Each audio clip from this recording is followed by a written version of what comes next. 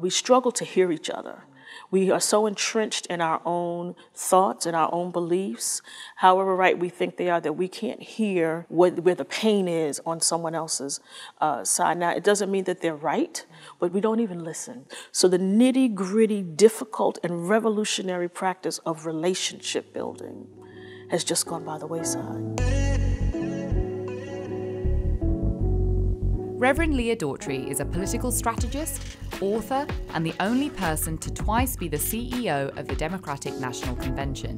I sat down with Leah at her family's church in Brooklyn, a place steeped in activism, to discuss 2020 presidential candidates, the fight for voting rights, and her new book, For Colored Girls Who Have Considered Politics. You co-wrote this book with three other very powerful, very prominent black women, Donna Brazile, Yolanda Caraway, and Minyon Moore.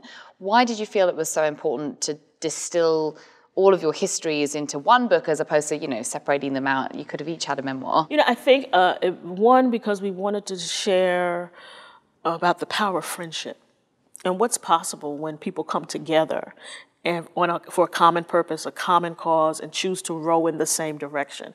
Which is not to say we agree on everything because we're girlfriends and we don't. But on the big issues uh, uh, of the day, we can come together and, and decide this is what we think works for our community, what will yield the best results for our community. We've been in this business now, all of us 30 plus years, and we said we should share uh, what we've learned, both from a historic perspective, but as women are rising and climbing up the political ladder, and not just politics, business, education, industry. When you were on, on your coming up, obviously we know a bit about your history, but coming out, what were some of the biggest hurdles you faced? You know, particularly in politics, when I was coming up, there weren't a lot of women. A lot, there weren't a lot of women role models, and so one of the things we learned early is that uh, your your biggest champions, role models, mentors may not look like you, because there were just simply weren't uh, we were the only black women in the space, with a couple of of C. DeLores Tucker and Maxine Waters, but there were weren't people at the DNC that we could say, hey, how do you navigate this process? So our champions became white men who were willing to invest time, energy, effort in helping us uh, navigate the system, understand the rules, work inside the tent.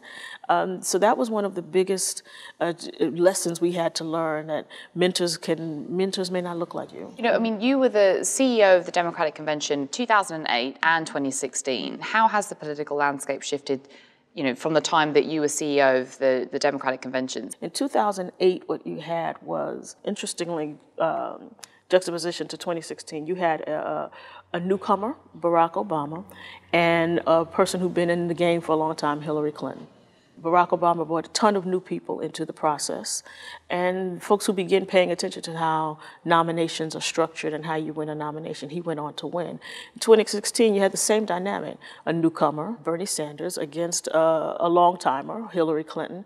Bernie brought a lot of people into the party, but he wasn't able to convert that into a win. So it's an interesting juxtaposition of the two races and why the newcomer was able to win the first time, but not the second time. You talk about this in the book as well, but you have had your own experiences with Bernie Sanders and the way that he has sort of interacted with the Democratic Party mm-hmm. and with the apparatus of sort of the, the Democratic Party. What do you think about Bernie Sanders and his kind of attempts at the moment to try and make amends for not just accusations of sexual harassment that were kind of in his campaign, but also the way that he is trying to seemingly make amends when it comes to racial balance.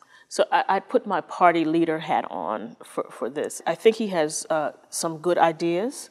I think he's obviously been re-elected by the people of Vermont several times to serve, and so they clearly have some trust in him. I'd like to see a Democrat be the Democratic nominee, and so I would say to Senator Sanders, welcome to the party if you want to join.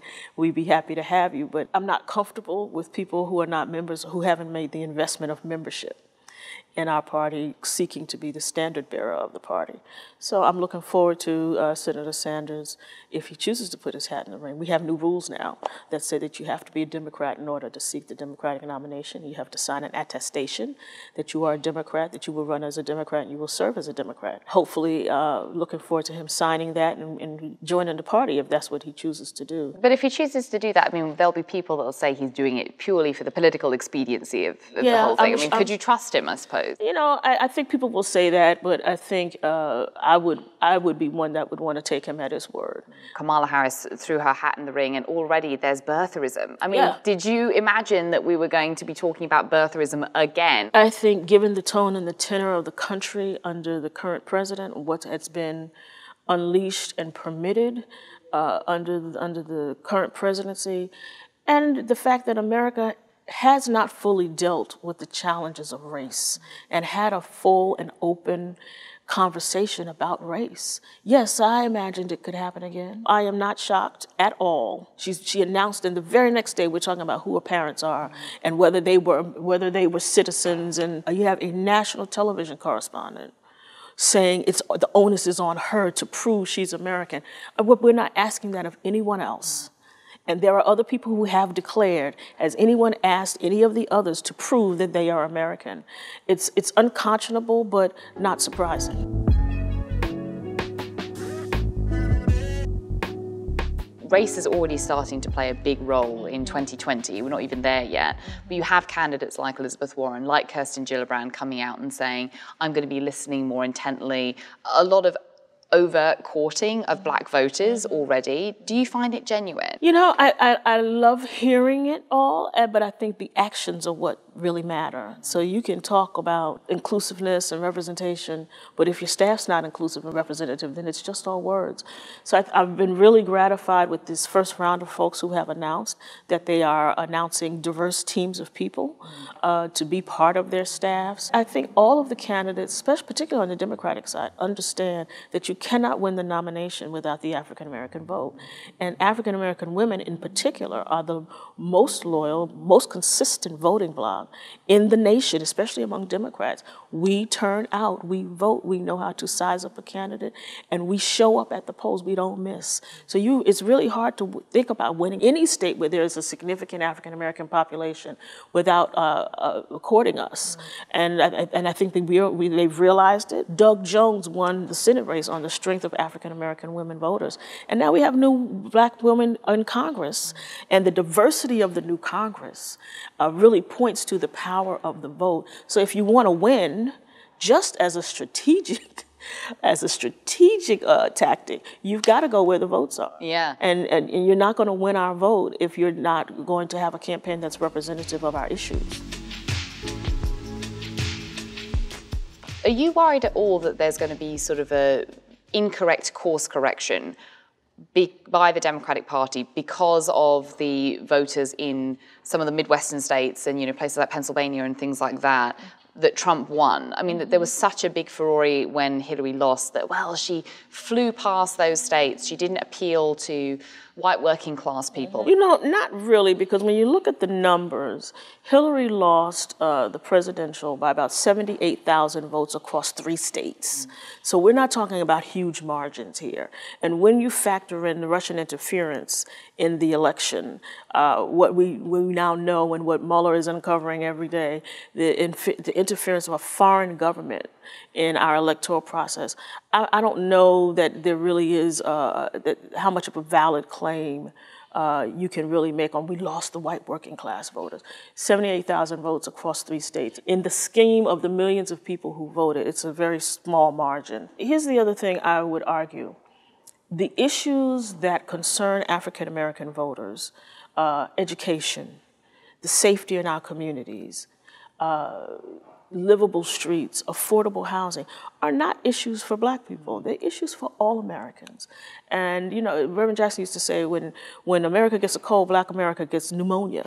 So, when, so if, if, we're, if those are the things that we're, where we're feeling the brunt, everybody else is feeling the same brunt. And so to make them racial issues or to make it that black people care about a set of issues that no one else cares about is, I think, a faulty premise. How big do you think that the Stacey Abrams issues and voter suppression issues are going to be in this election? I mean, do you see it as actually having an indelible mark on 2020? I think Stacey was robbed. Uh, when you have the person in the game also refereeing the game, who also wrote the rules for the game, there's something really unjust about that. Uh, and we know that votes weren't counted. We know that there were arbitrary rules that uh, kept absentee ballots from being counted and so forth. And she's taken that on as an issue. She's called, I think she's called it Fair Fight Georgia.